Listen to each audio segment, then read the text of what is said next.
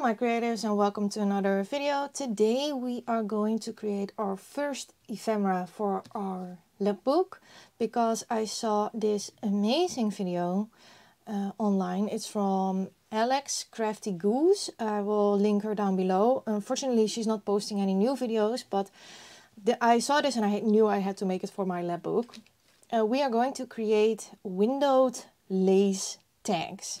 Now I already did some preparing because I already made a masterboard and cut that up with uh, the kit so you don't have to, I mean you see a lot of me making masterboards. I thought you wouldn't mind if I would skip this part and uh, just go straight into the tag making part. So what you need is a piece. I'm going to make one today that is three by six.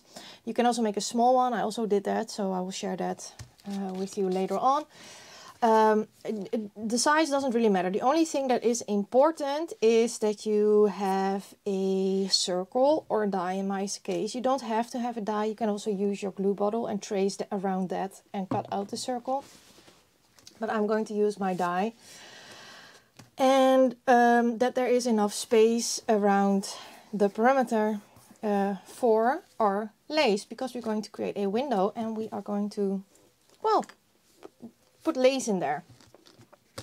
Then you also need a piece of uh, scrapbooking paper or cardstock, or this is just regular craft paper, um, to back it with, because we're going to make a sandwich. And then I got distracted. Because we're going to make a sandwich um, with the lace. So what I like to do was to take a piece of this paper and already uh, put it through my die cutting machine uh, two at the same time. So I knew where the circle would be. But if you don't do this, make sure that you take enough paper so you can move it about a little bit. So what we first of all going to do is of course make it into a tag shape. And I have my handy dandy little template for that because I want to use this one. So this is just a masterboard on a book page, as you know that I do. So cutting that corner off, turning my template. And this template is just a gift card plastic thingy. And I just snipped off a corner. So now that is the same. Then I also already want to ink? No, I don't, because I don't have to. Now, we go for the circle part. So if you have a um, mug or cup or something, just trace that right now. And then you, um, once you cut this one out, you put it on your piece of paper, you trace it again, and then you cut it out again on the piece of paper. What I'm going to do, because I'm going to use my die, is because um, is to place it, these two papers together, how I want them and going to stick that with a little bit of washi tape. And hopefully it will not tear my paper. So I think I would like I think this is somewhat the middle I guess. So let's stick it over there. And then I also need to stick a piece of washi to hold this paper in place. Now you see that I also take a little bit of extra just, just because to be sure that I have enough space when I put this through my die cutting machine. So I'm just cutting this off and I will run this through my die cut machine and then I will be back with you. So I run this once through my die cut machine and uh, that is perfect because then I have two circles. Oh, don't rip my paper please. Oh yes. I keep these circles because they are great collage material and I have two because I also have a craft one. So keep these, don't throw them away. They're fun collage material. And then I also need to take this one off. Okay, great. Now, this is it for the cutting part. So now you have this. The next thing I will do is I will ink. and I'm going to use ground espresso. So I did already uh, make two of these and I will tell you in a second why or when we get to that step why. Um, but they are super super cool. I really really enjoy them. So I make sure that I uh, also already ink the circle because you can't do that later on. Uh, I also ink the circle on this inside just in case. And I ink the circle on the outside, but we don't have to do the back yet because this paper is bigger, right? So I just ink the ink the circle now. And then uh, the other inking will come on a later date. Now, what we will do is we will grab a piece of lace. Now I have these um, big curtains I bought uh, super cheap at the thrift store and I cut out a piece and um, I also already know which piece I would like to add in my circle. You, this is really nice because you have some kind of a template so you can move over your lace and see um, what kind of um, pattern you would like to have on the inside. Just make sure that there is enough space around for you to use. You can also, uh, this one also has a leaf. So uh, the bigger your tag, the bigger you can, of course, um, make the pattern that you will see. Oh, I thought I knew what I wanted, but now I see this. I think I would like to have this. I thought I would want uh, one of these, but now I see this plant. I really like it. So what I'm going to do is I'm going to cut around this. So this is now and I will make sure that I have enough about here. I have sometimes that my Tim Holtz scissors comes loose. I don't know, do other people have that too? And then when I strengthened it again, when I, you know, attach it again, then we're all goodsies. But and then it cuts great, but it, sometimes it comes loose. I don't know why that happens. Okay, so we have our piece. Now let's see. Perfect. Just have enough so you can glue it till about the edges because uh, otherwise you might push out your window and we don't want that of course. So cut it off too.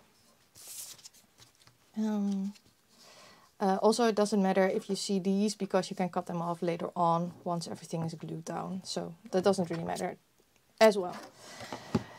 Now, what we are going to do is we're going to attach this, uh, checking the front or the back, yes.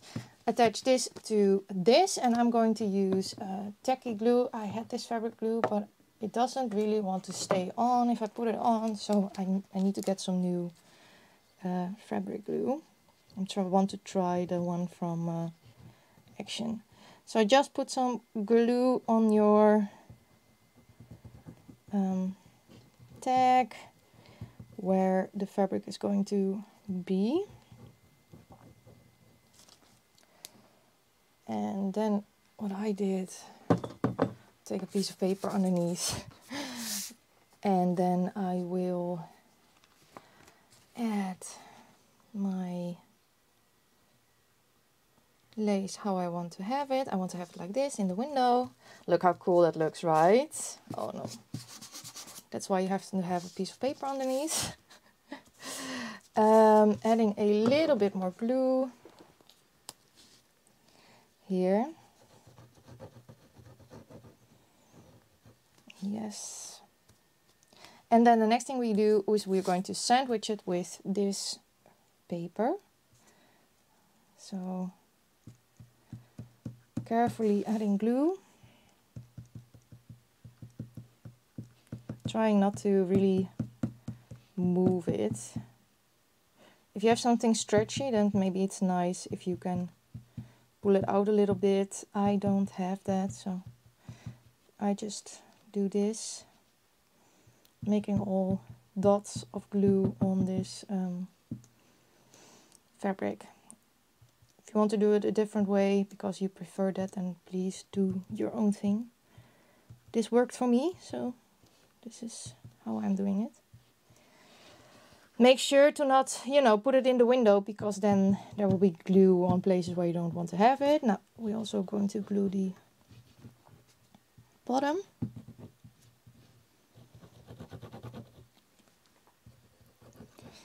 Oh, glue, glue, glue, glue, glue. A lot of glue to make sure that everything will stick. Now, we are going to take our tag and the window we prepared and we are going to line this up. And this was a lot easier when I was with my face on top of this project. So I need to put it up a little bit so I can see that I'm lined up. So line these circles up with each other. They are lined up with each other.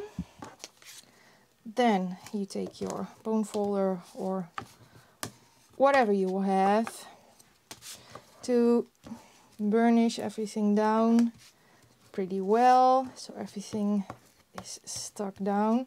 Make sure you move from outside the circle to the outside so not into the circle because then you have glue in the in, in the middle and you don't want that. These sides we still cut off so this is also nice um, this is also why it's nice to have a little bit of extra paper around so you don't smear glue on everything. So pushing it down. Now, the next thing, and this is why I already prepared one. I'm going to take off some of the glue, a little white. So, why I also prepared one uh, up front is because this has to dry and this is pretty wet. So it takes a quite some time to um, to dry. Now you can either already cut it or cut it later on. I will just cut it now to size. That way it will also not stick to other things. So just cutting around it.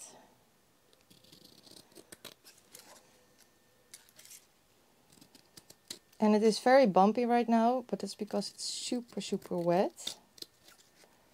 And of course I use thin paper, so of course you will feel it on the back side that there is lace in between because this is quite, you know, a thing. Um, I need to cut out this piece of lace. Now, this is our windowed tag. Super cool. The thing you have to do now is to let it dry for several hours under a stack of books or something else. So uh, something heavy uh, because this is now very very flimsy paper because of the wetness of the glue and the fabric is moving. Once it is dry it is super sturdy. So I'm going to put this on a book and then I will grab the piece that I already prepared. Here is the one that I already uh, prepared up front um, and it is super sturdy now, super nice, flat. Uh, of course, if you're going to write on here, this is thinner paper, you will feel a little bump, but I don't know, I love the look. So this is amazing. It looks super, super cool. It, it is pretty sturdy.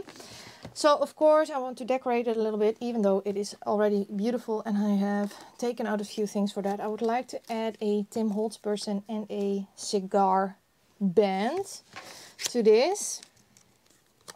So uh, I went through my stash already up front. I thought it was nicer for this video and I have sewn around it. If you want to do that, make absolutely sure that everything is completely dry.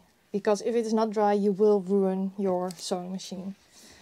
If you hear any scratching, that is Link outside the craft room wanting to get in.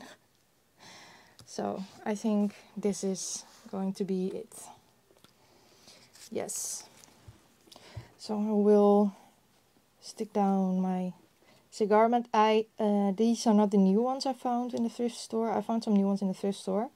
Uh, these are the first. I found these for the first time ever, and then I soaked them in water to let them get loose from the paper because I was stuck on there. Don't do that because then you will then damage them. The gold will come off. I learned my lesson the hard way. So I think that is a nice place. Oh. Yes, I'm going to flip this. sure. Why not? Why not? Okay, great. Now, uh, she will be a little bit on top of the window, so I will put a little bit of Distress Oxide on the back of her head. So, if you see her through, she is brown and not stark white. Even though this is white lace. Um, I don't know. It feels nicer to me. So, I... Um, did I put enough on her shoulders? I guess I did. Now make sure to not put glue on the places where she will be uh, through the window because then you will get a messy stuff there. So I need to put glue underneath, let's see, around her chest. So if I turn this around, I did ink it pretty well, I believe. Yeah, I saw this video and I thought it was such a cool idea. And do you remember that I still needed to make some tags as closures in my journal? Well, I thought these would look very cool for that. So I will put them with you inside the lapbook to share what my idea was with them. So I'm going to add her here. I'm loving this. Is this crooked? Well, if it is, then shame to add a little bit of glue on the side of her head. Yeah. So now she is almost done. Since this is a tag, I would like to add a eyelet and a piece of ribbon. Uh, this is from the napkin we used for the altered book cover. I will show you. We use it for this, so this is the remaining pieces of this. Um, so use that again. Let's see, I have my crocodile eyeballing the middle. Yes, love the crocodile. Does need a little bit of help, I see. Can I push it through? Yeah, good enough. Then I need a gold eyelet because um, this is also gold. I thought that look would look very cool. So I have a gold eyelet here. Going to add that in there as well. I need to let this dry a little bit because it's coming loose. But you know, for the sake of the video,